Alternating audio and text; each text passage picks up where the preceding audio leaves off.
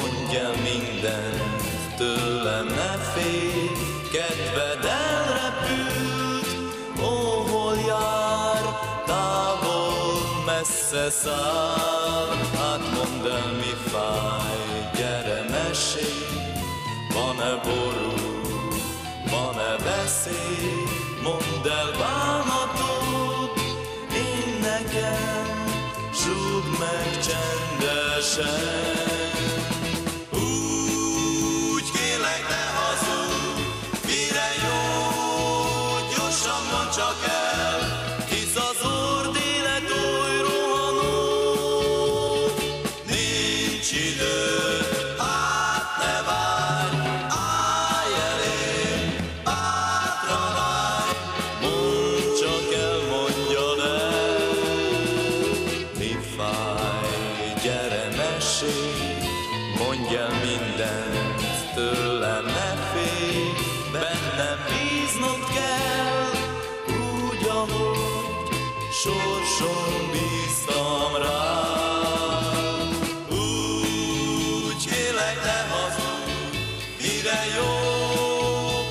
Gyorsan csak el, hisz az orr élet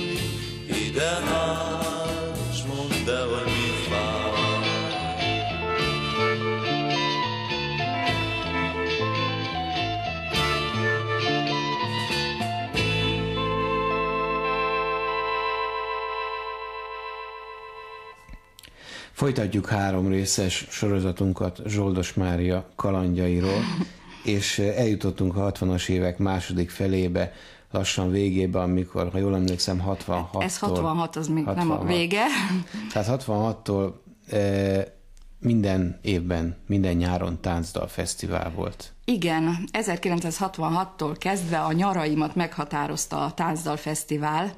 Az egész úgy kezdődött, hogy mit sem sejtve ültem az ebédlőbe, amikor fölrohant Körmendi Vilmos, aki az egésznek a zenei vezetője volt, hogy azonnal jöjjünk föl Kardos Jóska kollégámmal a 22-esbe, mert lesz valami Táncdal Fesztivál, és a jobb számokat fölvesszük lemezre a lemezgyártó hozzájárulásával.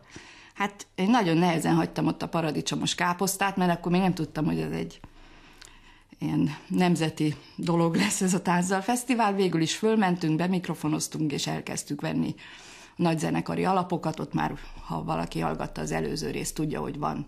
Volt négy sávos magnó a 22-esben, és vettük, vettük az alapokat, mondhatni pár óra alatt fölvettünk 20 alapot a nagy zenekarral. A beat zenekari részét is ott vettük a 22-es stúdióban, ott ismerkedtem meg a Metro együttessel, és hát velük is nagyon sokat dolgoztam. Nincs is olyan számuk, amit annak idején a 60-as, 70-es években együtt vettünk volna föl, ami itt készült a Magyar Rádióban. Azt lehet tudni a veled kapcsolatos beszélgetésekből, hogy vannak zenekarok, amelyek környékén gyakrabban megfordultál, akik tagjaival intenzívebb kapcsolatod volt. Hát és... de ide sorolható minden. Szóval, Minden. Iván, ez nagyon nehéz kérdés, mert hát egyrészt délelőttönként általában a Stúdió 11-el dolgoztunk, ahol akkor még az élő apukám is dolgozott, nagybátyám, akkor a Bágya, a Körmendi, Gyulai Gál János, szóval olyan nevek, Jere Bervin, később uh-huh. Fáj Andris, a délután és az este volt a beat zenekaroké, ahogy akkoriban még neveztük őket, vagy a ráénekleseké, vokálozásé. Tényleg ez így volt, hogy délelőtt a tánczenekar a szolgálatát teljesítette és vette az alapokat az énekeseknek, vagy a saját számait. Na most óhatatlan, hogy az ilyen e, munkakapcsolatokból e, Ajaj, magánjellegű kapcsolat kitérni? ne szülessen. És most ezek közül, a kapcsolatok közül egyet szeretném, illetve egy, egyről szeretném, ha beszélnél. És ha nem. Hát ha nem, akkor nem.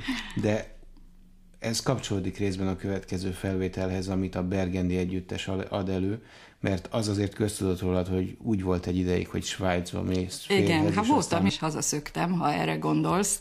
Hát tulajdonképpen ez is a Táncdal Fesztivállal kezdődött.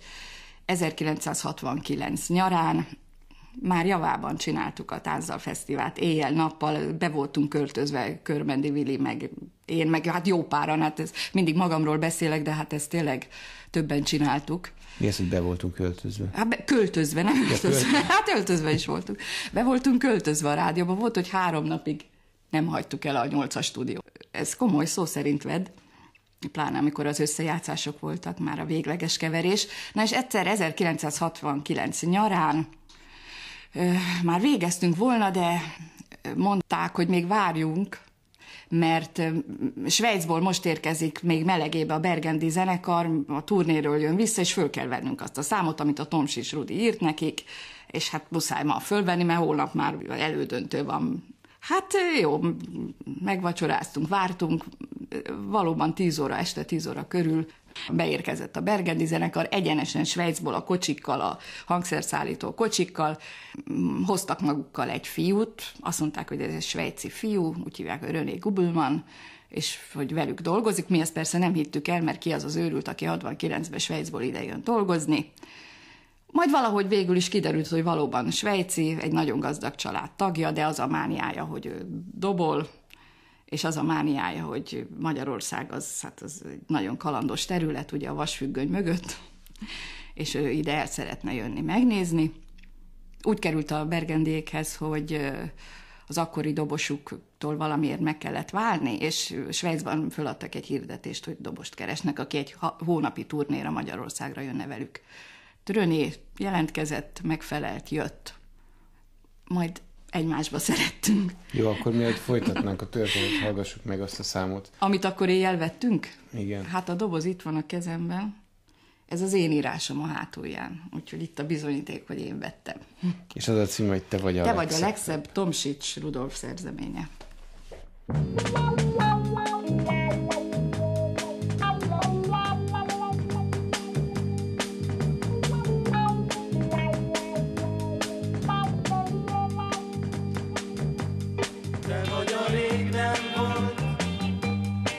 什么？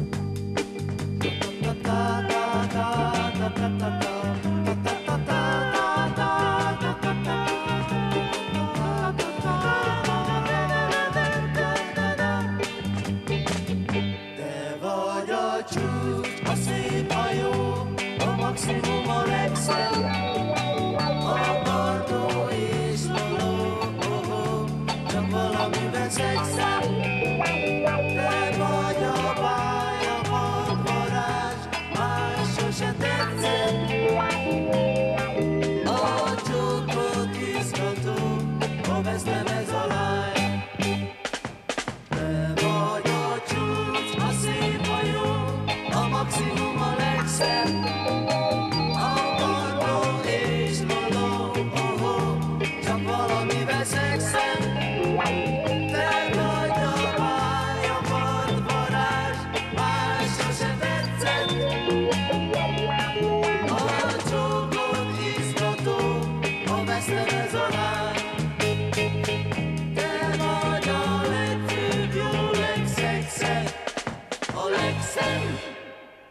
Ugye a René egy hón, arról volt szó, hogy egy hónapra jön ide, Hát majd aztán miattam nem volt kedve hazamenni, úgyhogy az egy hónapból mindenféle munkavállalási engedélyekkel, amit nagyon nehéz volt beszerezni, mert semmilyen intézményben nem akarták elérni, hogy egy svájci itt akar munkát vállalni. Kapott munkavállalási engedélyt, és egy évig itt maradt, amíg az ő szülei beleegyeztek, hogy engem elvegyen feleségül. Aztán kikerültem Svájcba. Szerencsére voltam olyan okos, hogy fizetés nélküli szabadságot kértem, tehát volt valami bal sejtelmem, hogy nem lehet rögtön ezt a rádiót fölmondani, vagy nem kéne. És valóban pár hónap után pedig nagyon nagy gazdagságban, nagyon jó körülmények közé kerültem és egyszer csak egy szombat délután fölültem a Zürichi pályadban egy vonatra, és hazavonatoztam 16 órán keresztül, vagy 18 órán keresztül, és vasárnap délután megérkeztem, és anyukám nagyon csodálkozott, hogy miért jöttem haza. De nem bántam meg, hogy hazajöttem, ott nem is dolgozhattam volna, bár többször voltam a Zürichi rádióban, nagyon érdekes volt, mert a mi rádiónkhoz képest az akkor sokkal visszamaradottabb volt. Azóta nem tudom, hogy mi. Például nekik még csak a pincébe volt a négysávos magnó, és azon tanakodtak, hogy beszereljék. Pedig a Studer csinálta Igen, igen, igen. Viszont volt egy nagyon jó hangversenytermük, amit akkor irigyeltem. Na és miért? Hát, mit miért? Hogy... Jöttél haza? Hát túl jó volt, hogy úgy mondjam. Túl sok hegy van Svájcban, és azt én nem bírtam. Most komolyan mondom, Zürichen nem lehet úgy végigmenni, hogy egy utcán úgy végiglás, kivéve a Bahnhofstraßét talán, amely a Zürichi tóhoz vezet, és gyönyörű, minden gyönyörű. Szóval ez, ez talán fájt is, hogy ott minden annyira gyönyörű, meg hogy minden annyira ki van találva, meg hogy semmi csúnyaságot nem láttam. És a másik az azért, szóval mm, borzasztó gazdag ország, és valószínűleg egy, egyes területein nagyobb a kultúra, a kulturáltság az maximális. De az, hogy én a környezetemben egy könyvet nem láttam, szóval nem is volt sik könyve. Amit én vittem magammal könyvet olvasni, azt nem lehetett. Hmm. És minden ebéd, vacsora, reggeli a pénzről való beszéléssel telt el, és hát ezért hazaszöktem. Szöktél? És ma, ha, tényleg szöktem. Minden, sem mindent neki sem mondtad Neki se. De aztán, aztán utána jött, és akkor ez így ment egy darabig a húzavona, de hát aztán lemondott rólam. Azóta már megint nagyon jóban vagyunk, és tartjuk a kapcsolatot, ő már másodszor megnősült, és akkor ez neki nagyon kellemetlen volt, hogy egy igazi svejcit, egy igazi magyarot hagy. Ha már a Bergendi Együttesnél tartottunk, folytassuk velük, talán velük is nagyon sokat dolgoztam. Egyébként legelőször a Bergendi Együttest 1957-ben láttam római parton, ahol is nekünk van egy kis csónakunk, meg kabinunk, és akkor ott volt még egy nagyon jó kis étterem, és ők ott játszottak az étterem teraszán, és hát itt is összekerültünk, természetesen ők is szerettek velem dolgozni, mert ismertek, mert zenész gyerek, ha kellett, be tudtam ugrani, vokálozni. 1971-ben, amikor átalakult a Bergendi, tehát a René már hazament, én visszaszöttem Svájcből, és vettek egy új énekest magukhoz, akit úgy hívtak, hogy Demjén Ferenc. És azt hiszem, itt lent van a stúdióban az ő egyik felvétele. Én készítettem, de úgy, hogy az első hangtól az utolsóig valóban egyedül, mert a Bergenti Pistáik ezt kérték. Ők is egy új hangzást szerettek volna megvalósítani, egy visszhangtalan, száraz basszusgitáros hangzást, az éneket olyan helyre elő, elhelyezni, hogy jól hallatszódjon, de ne helyezkedjen a zenekar elé, mert az addigi stílus az volt, könnyű zenében van, inkább tánczenében, hogy az énekes jól hallható legyen, a zenekar csak kísérjen. És hát akkor készítettük el a Demén Rózsinak az első két Z felvételét. Az Z felvétel azt jelenti, hogy véglegesen megmarad a rádiónak, szalagtárba elhelyezve. Ez az egyik a fázom, hogyha nem süt a nap, a másik a mindig ugyanúgy. De most én Rózsit egyébként már ismertem. Előzőleg mindenféle ilyen zenekarokba a testvérrével jött be, de valahogy úgy ismertem, hogy a nevét se tudtam, és akkor hát ott rácsodálkoztunk. Hű, de nagyszerűen énekel ez a fiú. Egyébként ez a fázom, hogyha nem süt a nap, ugye ez egy szegény legényről szól, akkor ő még tényleg olyan szegény volt, és tudom, hogy egy ruhája volt, egy cipője, de nagyon helyes fiú volt, és az is maradt. Látod, ő is nagyon szerény volt mindig, és nagyon szerény maradt a mai napig. Nagyon szeretem Rózsit.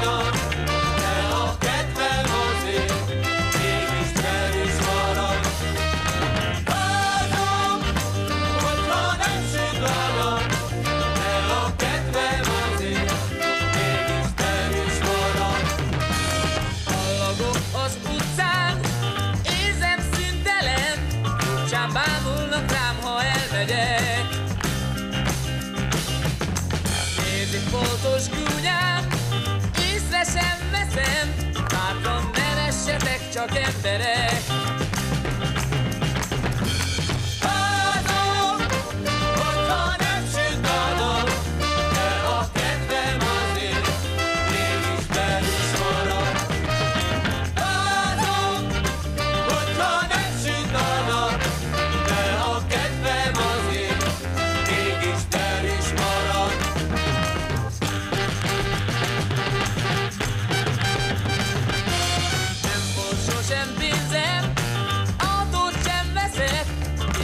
Csak emberek csendesen. Percről percre érzem, gazdagabb leszek Ha valaki rám néz kedvesen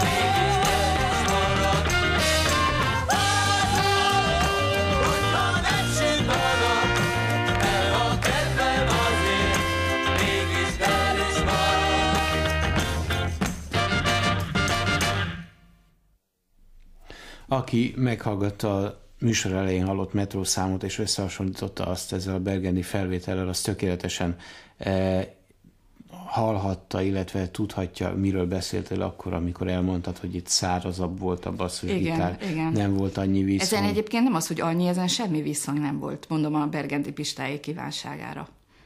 Tehát tökélet... Hogy tetszett egyébként? Kicsit, kicsit száraz. Kicsit száraz, igen, igen, igen. De hát akkor mindenki rengeteget kísérletezett. Persze és arról szeretnélek kérdezni, hogy hogyan jutottatok el úgy körülbelül a 60-as évek végétől, tehát az Orán felvétel által fémjelzett időszaktól a 70-es évek közepéig, amikor kialakult az úgynevezett 8-as hangzás, amit ha szeretnének, se lehetne utólag reprodukálni, de minden Szóval lehetett az Bergendi, Lokomotív, uh-huh. Omega, Ihász Gábor, minden egyformán Hát igen, mert egy keverőasztal volt. És aránylag szűk körű stáb dolgozott abban a stúdióban, és volt egy követelmény a lehallgatáson. Az összejátszott felvételeket egy lehallgató bizottság, amely állt hivatalnokokból és zenészekből. Nekik volt egy elképzelésük, hogy a magyar rádióban, mi szól jól, mármint a magyar rádió, amit kisugároz ugye a, a vevőkészülékekbe, ez úgy meg volt határozva, nem akarok túl szakmaian beszélni, csak ahogy érteni lehet. A műszakról is ült ott mindig egy osztályvezető. Például a túl sok volt a basszus, visszadobták, hogy játsszuk vissza még egyszer, mert a kosuton ez döngeni fog, érted? Mikor kezdted el a rádiós munkát, mint a keverőasztal mögött ülő valaki? Hát 65-ben lettem rádiós, és 71-ben a Bergendi felvételével, amit az előbb hallottam. De mondjuk 65-ben kezdtél a stúdióban igen, dolgozni. Igen, igen. Eltelt egy évtized, és amit most fogunk hallgatni, az 1974 nyarán rögzült itt a rádióban csúnya szóval élve. Ez a Bergendi együttes egyik felvétele, de egy Bergendi nagy lemez az készült. ötödik sebességre az gondolsz, mert azt csináltuk 74-ben. Igen, 74 nyarán. Akkor néhány zenekar, köztük a Lokomotív, az Omega és a Bergendi is úgy döntött, hogy megpróbál nem a lemezgyárban lemezanyagokat készíteni, hanem itt Miket a rádióban. Tudsz, de így van. Mert a körülmények sokkal jobbak voltak itt, mint ott.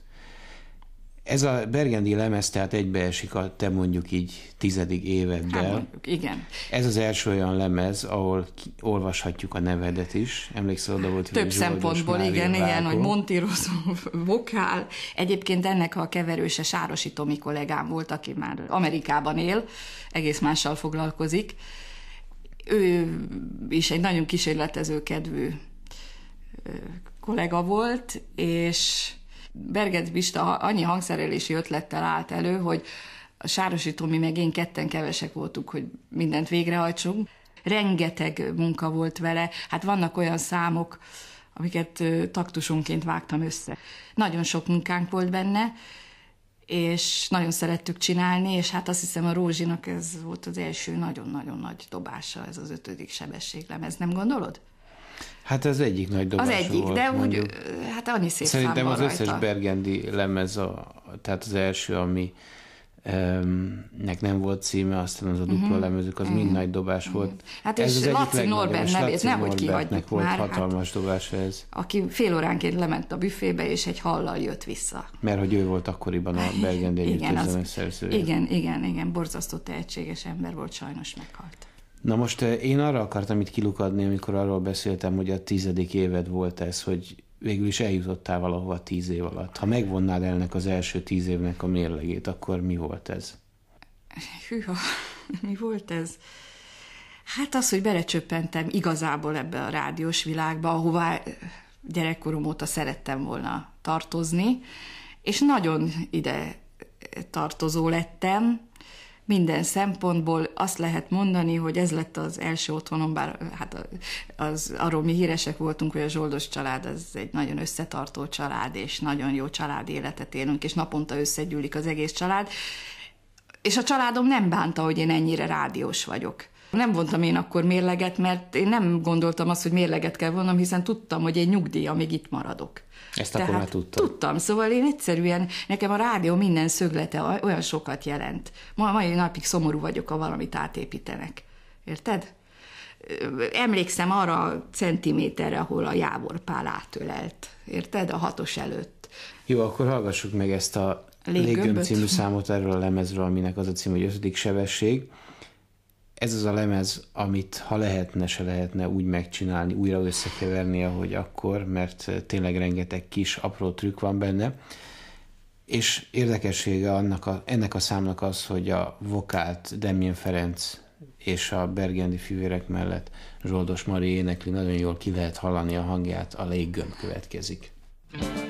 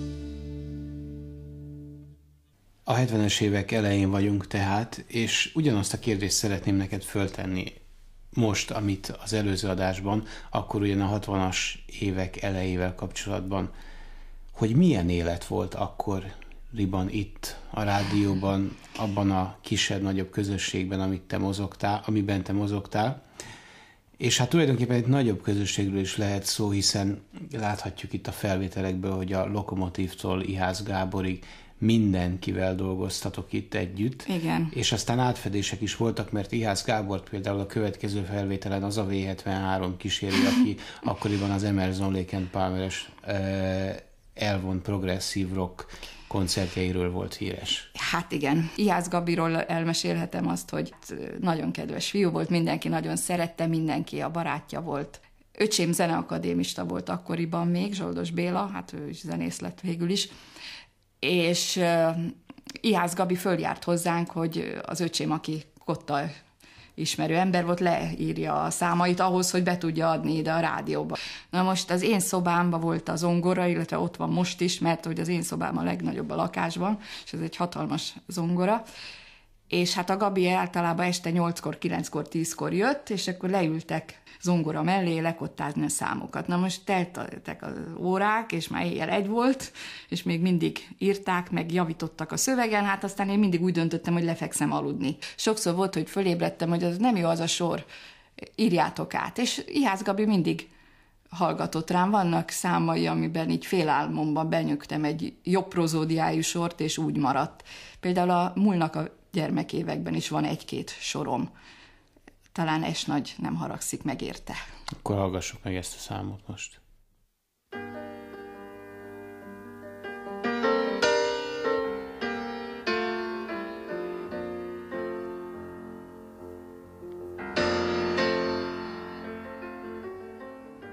Már hosszú évek óta azt mondják nekem, olyan vagyok, mint egy kis gyerek. Belátom, így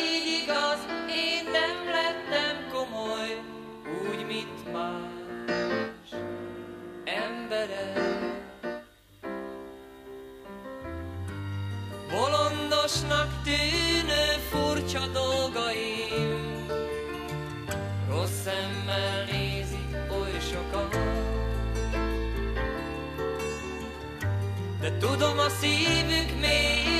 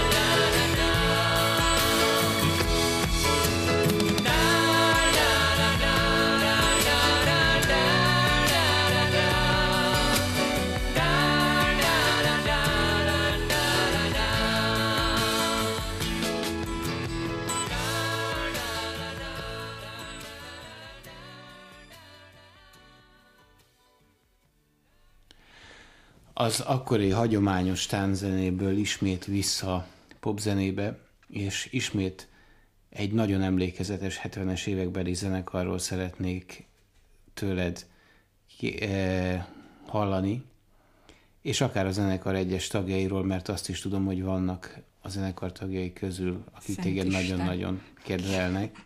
Az együttes úgy hívják, hogy Lokomotív GT. Menjünk végig a tagságon. Hűha. Hát, Menjünk, maradjunk az elsőnél. Um, tehát ott volt a Frenreis Karcsi, Igen. aki gondolom még a régi időkből. igen, igen. Jó Kedveltük volt. egymást. igen. A Laux, Józsi, Vele barátok voltunk. volt náluk a Barta Tamás, Barta Tomi, na látod, a Barta Tomi az egy egész különös egyéniség volt, a többi is persze, de a Barta egy megközelíthetetlen, na most ne úgy érts, hogy meg akartam közelíteni, de csak a gitározás érdekelte. Ő is meghalt, hát szörnyű. Szóval Barta Tomival annak ellenére, hogy hát sokat dolgoztunk, nagyon jó barátságban voltunk, de mindig éreztem egy három lépés távolságot, és azt hiszem a legtöbb barátja is így érezte. Nem lehetett a közelébe férkőzni igazából. Nem lehetett. Borzasztó nagy tehetség volt. Ezek szerint minden zenekarban, legalábbis, hogy hallom így a mondataidat, voltak, akikkel nagyon jóban voltál, és mindig voltak igen, igen. távolabbi emberek. Akar más tagjairól kérdeznélek, lehet, hogy olyan is van, akinek a nevére se nagyon emlékeznél. Na, Például a Solti János. na ne vicc, a Sol- öcsém barátjára miért nem emlékeznék a Solti Jancsira? Na most ezt azért Hát nem, kérdeztem. nem így- emlékszem, hát szoktam. Azért kérdeztem így, mert a Lokomotív egy olyan példa, amelyikben több generáció is játszott, Igen, ugyan igen. természetesen fluktuációval, és te annak idején, amikor éppen a Generál Együttes tagéről kérdeztelek, amiben a Solti is játszott, azt Igen. mondta, ah, azok már gyerekek voltak, szóval azok már, azokra Igen, már őket nem... valóban mindig olyan, olyan gyerekeknek néztem. Tehát volt egy ilyen korosztály, aki egyszer csak megjelent, ugye Igen, 70-es években, igen. akikre már nem felnézett az ember, vagy nem Igen. együtt indult velük, hanem már gyerekek voltak hozzá. I- igen, és, és annak ellenére, hogy a generális egy kiforrolt koncepcióval jött a stúdióba, azoknak azért adtunk tanácsokat. Na most például az Illés Metro Megában nem az volt, hogy tanácsadás, hanem közösen megbeszéltük. A generálnak már tanácsokat adtunk, mert ők gyerekek voltak. De tényleg gyerekek voltak, nagyon helyes gyerekek, szerettem őket. Uh-huh. Szerettem őket, nagyon tehetségesek voltak, mikrolidvokál. Hát, Egy valakit nem említettél Kit? még, akivel szintén nagyon... Presser Gáborra gondolsz szerintem, hát igen, az egy nagyon hosszú, több évtizedes kapcsolat. Hallgassunk meg egy olyan számot, ami a Lokomotív GT, legalábbis ennek az első Lokomotív GT-nek az egyik, nem az egyik, hanem a talán legjobb lemezéről való. Itt a rádióban készült ez a Boom című nagy uh-huh. lemez. Igen, ezt is éjszakánként csináltuk, és pont ebben a számban van egy motorkerékpár zúgás a szám közepe felé, amihez kitalálták a presszerék, hogy ezt csak úgy lehet fölvenni, ha nem a szalagtárból hozunk el egy motorkerékpárzajt, hanem beszállítunk a nyolcas stúdióba egy igazi motorkerékpárt, egy versenyben. Szóval valami nagyon Yamahát, vagy nem tudom mit. Na most ez nagy nehézségekbe ütközött egyáltalán behozni a rádió épületébe kintről egy motort, Na de végül is megkaptuk az összes engedélyt, és akkor hát hosszas, szóval azt hiszem a fél éjszak ebben telt el, hogy a motort hoztuk föl többen, hát a ródok és az erészek segítségével, és végül is egy, az udvar felőli, garázs felőli hátsó liftre valahogy felállítva befért, és akkor betoltuk a nyolcasba, és azért a fél perc kedvéért, ami ott a szám közepén van, egy valódi jó minőségű motorkerékpárt túráztatott. És miért nem És nem emlékszem, hogy kicsoda látott. Hát se, nekik az semmi nem volt jó, csak az, ha itt a nyolcasban benn van a motor. A lemezen Hidd az hogy a Laux József A Laux, játszik tényleg, most bár akartam is mondani, hogy úgy emlékszem, hogy a Laux, de hát erre nem mernék megesküdni, mert annyit nevettünk, amíg az a motor bekerült, hogy ö, ez mindent elmos az emlékeimben. De egyébként nagyon szerettem ezt a lemezt, ö, ezen van a ringas el magad is, ami hát évekig egy tiltott szám volt, ugye, mert Igen. Mm, olyan okokból, hogy itt senki ne ringassa el magát, mert kábítószerre lehet gondolni, meg erre-arra. De azt hiszem, hallgassuk meg a, Még azt szeretném kérdezni, emlékszel, ki volt a motor, meg milyen motor volt? Nem emlékszem. Azt, azt tudom, hogy egy nagyon jó minőségű japán, a Yamaha az nem japán, mi nem értek a motorokhoz, egy borzasztó, csillogó, villogó, fekete, nem tudnám megmondani, hogy kié volt. Lehet, hogy kölcsön kapták valakitől. Jó. Akkor hallgassuk meg a számot. A címe Gyere gyere ki a hegyoldalba, és privát emlékeim szerint Lauxnak és Pressernek volt még az Omega japáni vendégszerepléséből egy motor, úgyhogy valószínűleg ez szól rajta. Látod, te többet tudsz.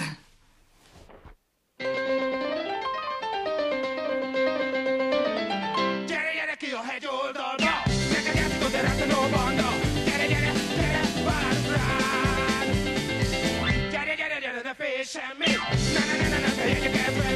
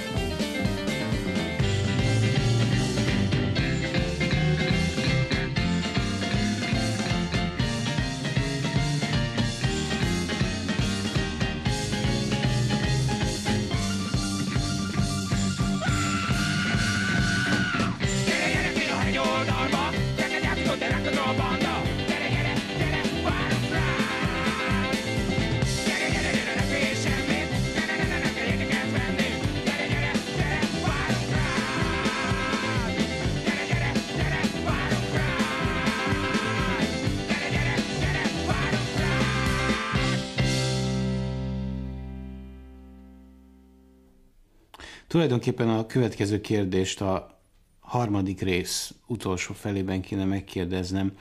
Denver, annyit beszélsz zongorákról, amiken eh, annak idején nagy-nagy slágerek születtek, és most ott áll a eh, ti lakásotokban, hogy megkérdezem, mennyire élsz emlékek között? Csak emlékek között, ez jó kérdés volt, látod, pedig sose voltál nálunk.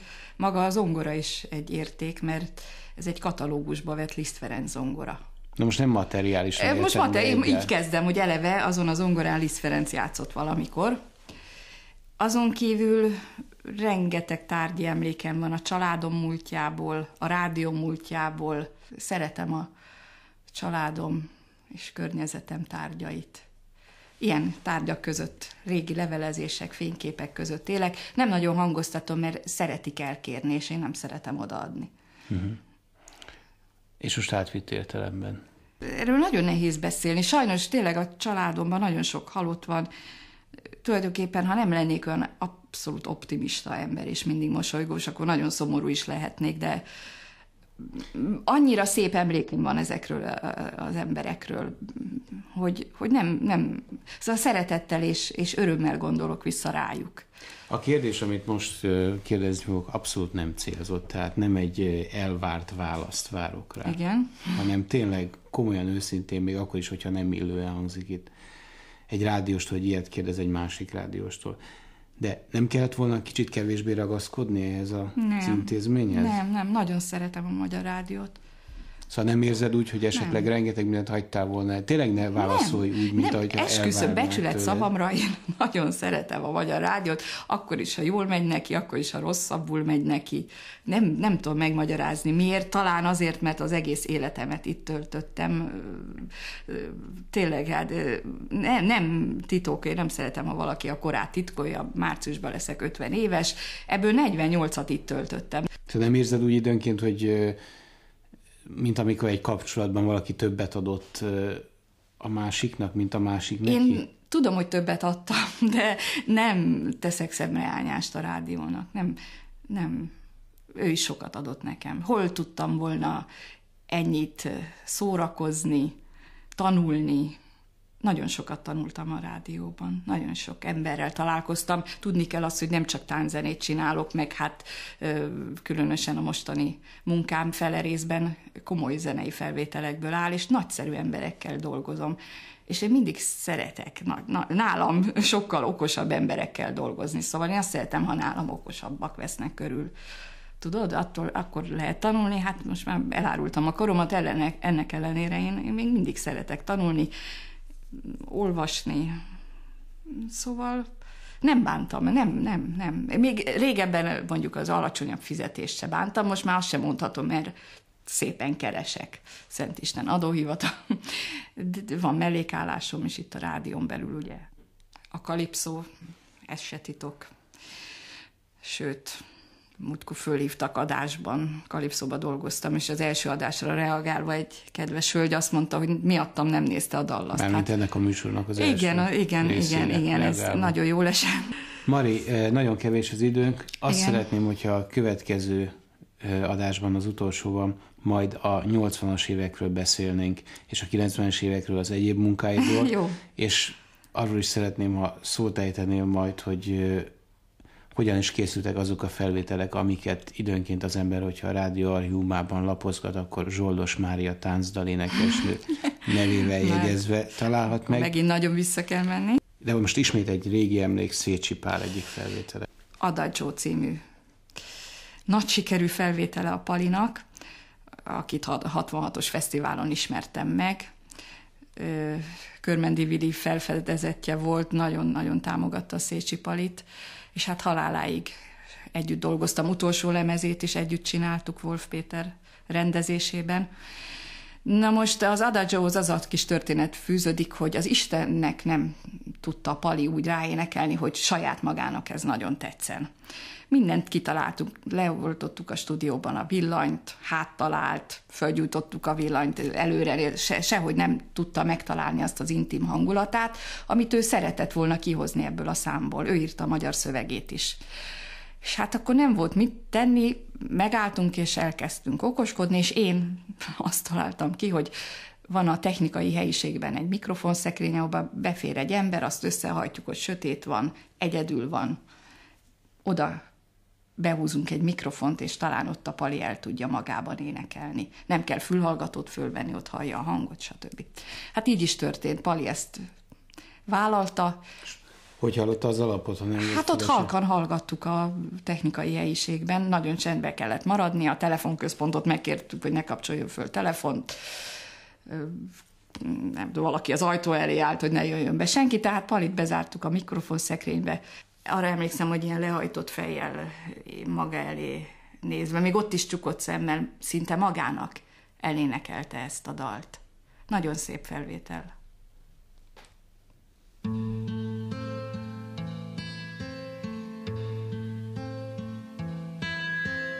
Nézd, milyen szép az éjjel, ránk köszönt csillagfénye. A hold mély fényesen ragyog, és én oly boldog vagyok.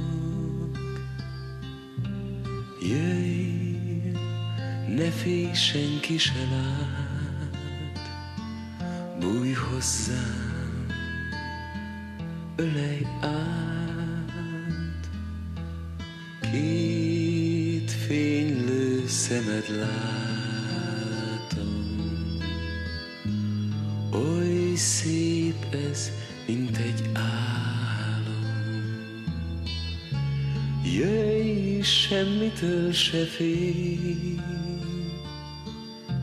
ha majd elmúlik az éj. Én itt maradok veled, nyújtsd hát a két kezed. Oly régen kerestelek, kutattalak, nem tudtam, merre kell indulnom, ahhoz, hogy valahol végre majd megtaláljalak. Nézd közeleg a hajnal, rám köszönt madárdal. Nap is lassan ébred már, és minket együtt talál. Jöjj, ne félj, senki se lát, bújj hozzám, és ölej át.